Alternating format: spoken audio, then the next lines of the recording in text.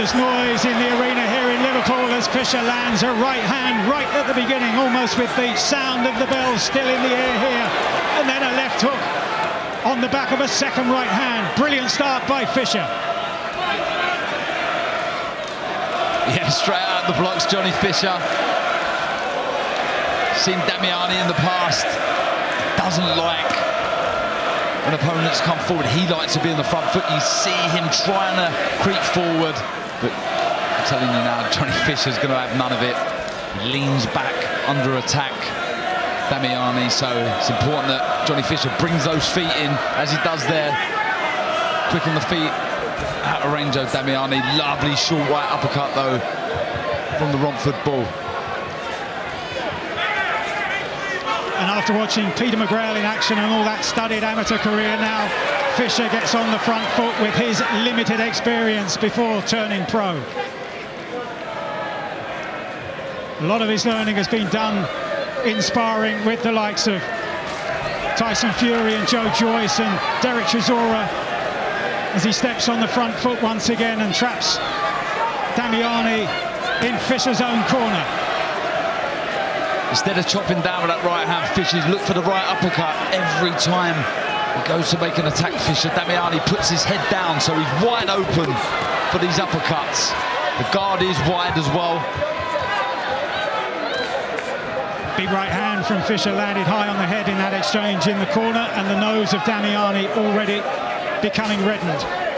And we're not yet in the final minute of the opening round.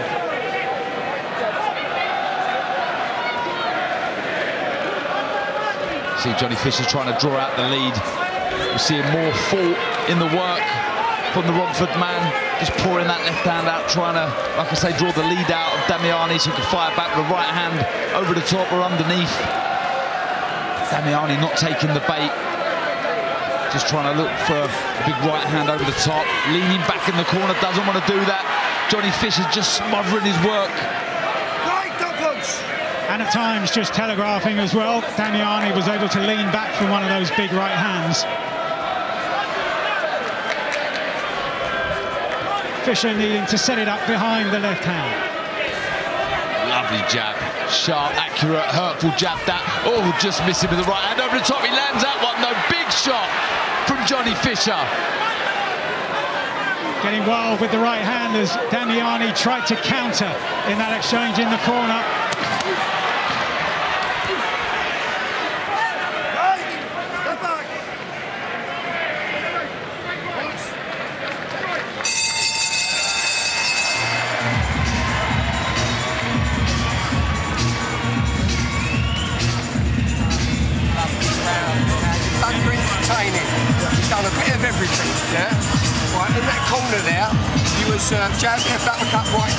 Distance was a little short. Yeah. That's the one. Go and do what you just did, but relax a little bit. Enjoy it a little bit more. Really nice. Yeah? So you've done all your entertaining. Very good. And that jab is absolutely wonderful. Use it more. Enjoy using it more. All right? Good, good. Very nice. Sit down, relax, chill. So, all right? Very, very nice. Yeah, big hurtful right hands from Fisher. He did telegraph a couple of them though, and it made Damiani read them, glancing with that one, but there was a hurtful right hand in there. Real force and spite in those shots from this man.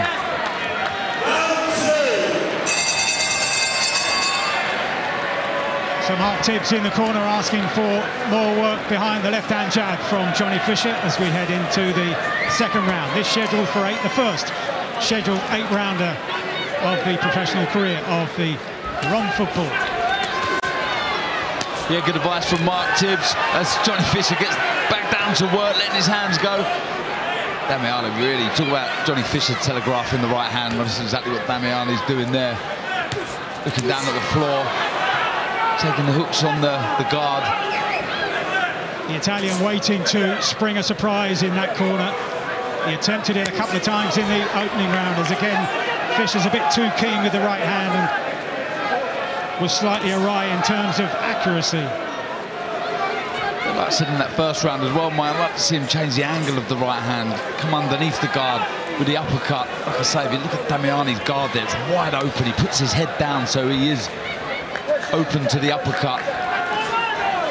But that is his money shot, Johnny Fisher, the right hand over the top.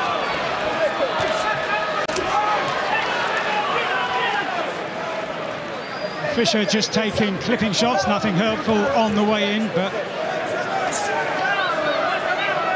enough to make him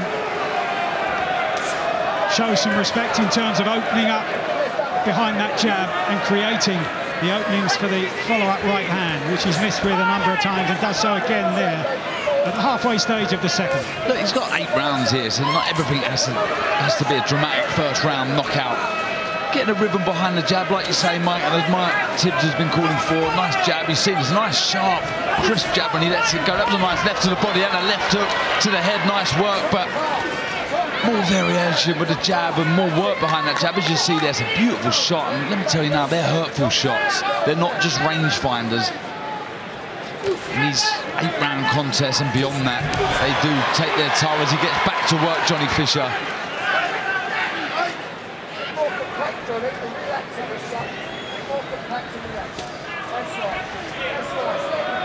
The left hand to the body earlier, Darren, as you were calling for with the right hand previously, and that created the opening for a terrific left hook to the chin as well, which it has to be said Damiani took well. Just see Johnny Fisher there. He took a step back to see if he could draw Damiani to come forward. The Italian was having none of it. So I think we're going to see the, the remainder of this contest. Johnny Fisher forcing Damiani back. More fault in the work required, but looking dangerous, looking strong, Johnny Fisher.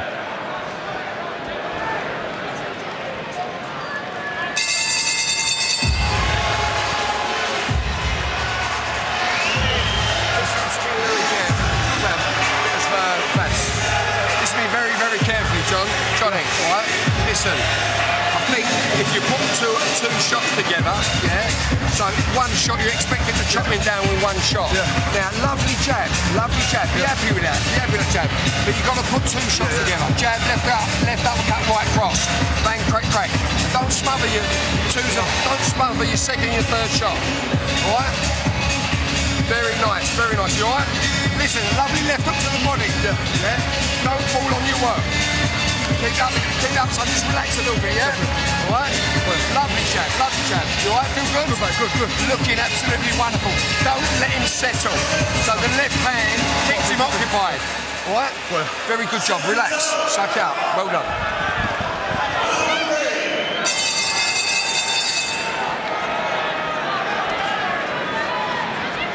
So Johnny Fisher, according to Mark Tibbs, guilty of smothering his work at times and asking him to get behind that left-hand lead which is so impressive when he throws it as sharply as that. It's better when he closes the gap. Johnny Fisher, he missed with the right hand, throwing a one-two. Better off advised, stepping in with a double jab, then throwing the right hand, but again, making life very difficult for Damiani. He's on him, he's close, he's physically so strong, Johnny Fisher, and that drains you down the stretch when you've got someone in front of you constantly making you think, making you worried about the shots they're going to throw. It could be a case of Johnny Fisher softening up Damiani, trying to get the stoppage later on. Damiani limited in terms of attacking ability, but he's shown in the past that he does know how to look after himself. He's been beaten twice, but one of those was inside the distance, the other on points. And as far as tonight's distance is concerned, he's been the full eight rounds once and won that one on points. As now Fisher starts to open up. The Bull Army get behind him in the Italian's corner. Again, just he did throw an uppercut in there, and Damiani credit to him. He closed the guard up slightly there, and it was a bit of a glancing blow as well. But definitely the shot for Johnny Fisher to throw when he backs Damiani into those corners because you can see time and time again, just take a look at Damiani when he does let his hands go. The guard is wide, the head comes low, and that's when you start firing in the uppercuts. Looking good, Johnny Fisher moving the head side to side, feints. gum shield. Fisher's come out.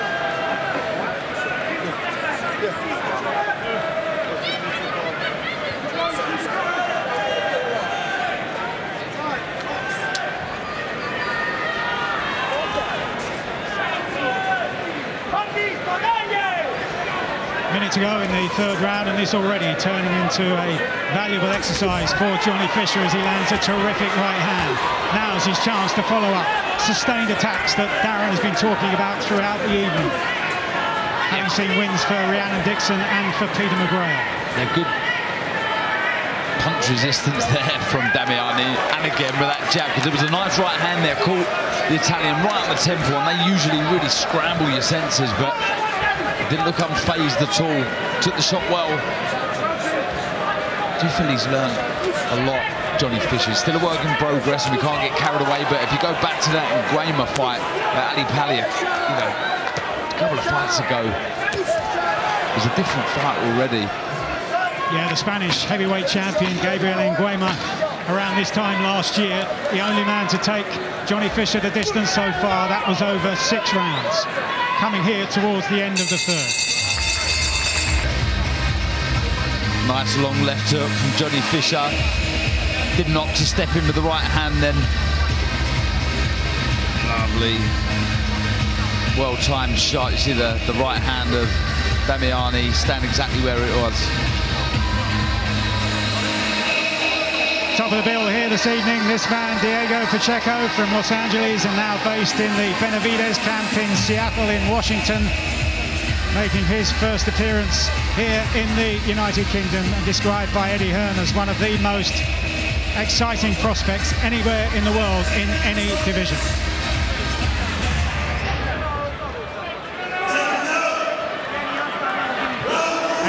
Newcastle next week. Cyrus Pattinson against the former British welterweight champion Chris Jenkins. Here we move into round four. Johnny Fisher against the Italian Alfonso Damiani.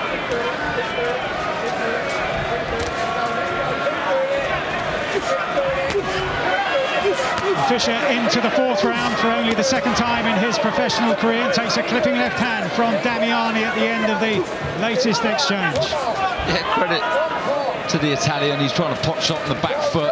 There's no power in these shots at all, but he's trying to soften Johnny Fisher up and then try and wing in a big overhand right. Just a little bit too predictable with the shot. No real fault in what he's doing, but he's been game. Takes a nice left to the body, but fires back with a nice jab of his own. Johnny Fisher a bit wild with that right hand again.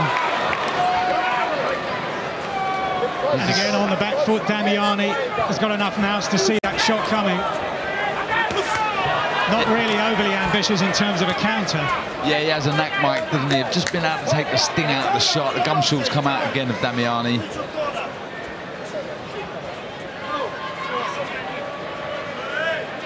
In those instants, Mike, when you you kind of glancing the shots on the target, that's when you bring your feet in, get closer to your opponent. So, especially Johnny, just creeping a little bit more, get behind the double jab, then throw the right hand. We talked at the beginning of the round about the bill coming up next week on DAZN in Newcastle, full of terrific prospects, and also a fight for the English heavyweight title. Such a strong domestic scene all the way down from Tyson Fury, the WBC champion, as Fisher now starts to land more cleanly than at any stage. And next week, Solomon Dacres against Robert Ismay for the English title. That's in Newcastle here on DAZN as Fisher goes on the front foot, weaving, trying to create openings now as Damiani is backed up on to the ropes once again. That's a huge right hand, Mike, that he caught Damiani with. He kind of swayed back on the ropes, and nonetheless he got caught clean. That's another huge right hand by Johnny Fisher, and the referee waves it off. Terrific three-punch combination. It started with a body shot. Wonderful variety from Johnny Fisher. In the end, producing a terrific stoppage in the fourth round. Just when Damiani threatened to take the contest all the way and he's still complaining to the referee Steve Gray but Gray had seen enough. He'd seen very little in the way of ambition from the Italian. And so a wonderful attack, nicely put together from this man who is, by his own admission, still very much a novice, with very little in the way of an amateur career behind him. And he makes it eight in a row with a very impressive finish. Yeah, I, look, I can understand Damiani's protest there, but he was caught, he was hurt, and at no point did he really look like he had much chance of winning the contest. Nonetheless, maybe he should be given the opportunity, but it's the heavyweight boxing you're talking about, and you can get really hurt, and you can see Damiani taking the sting out of the shots, leaning back. It's when he's got him backed into his neutral corner, just misses with the, the left hook, but that right hand over the top. And credit to the Italian, he never went down at any stage. And I mean, Johnny Fisher really does punch hard. He packs a punch and he took that one. He never went down. I can understand the protest when you take a huge shot like that and you don't go down and you're, you're still in the fight. You'd like to continue, but the referee's job is to protect the fighter and like I say, Damiani never really looked like he had much to offer as far as offence and in attack. So the Romford Bull journey continues. Certainly improvements there. The show goes on.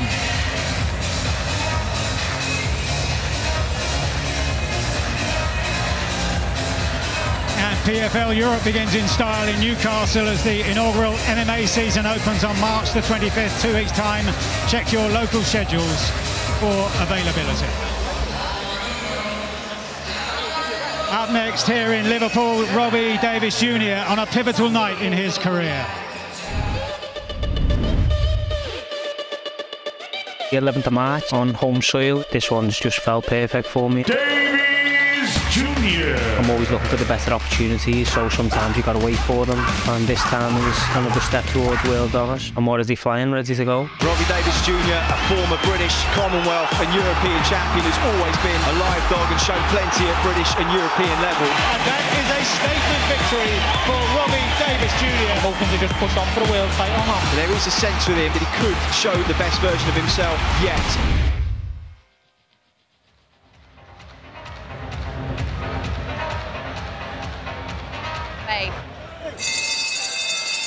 Ladies and gentlemen, referee Steve Gray calls a halt to this contest. The official time of the stoppage, two minutes and five seconds of round number four. The winner by TKO. He's still undefeated, and